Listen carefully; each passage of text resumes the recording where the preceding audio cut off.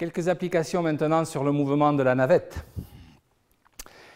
Ici, nous pouvons demander donc une attaque du droit au visage hein, qui va, hein, que l'on va absorber hein, en reculant le pied droit et en contrôlant avec le bras droit, qui va absorber pour laisser place au bras gauche, qui lui va au contraire renvoyer, contrer. Et du coup, on va pouvoir attaquer derrière avec la paume droite. Donc l'idée de créer le vide est intéressante ici pour remplir de nouveau derrière. Ça peut être repoussant, mais ça peut être aussi boxant hein, dans cette idée.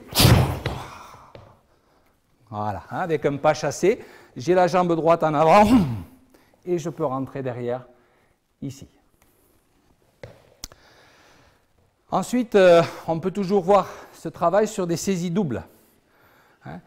Ici, on voit le travail de la main droite qui monte en spirale et qui va amener la main gauche dessous, ce qui va créer chez lui un mouvement croisé au niveau des bras.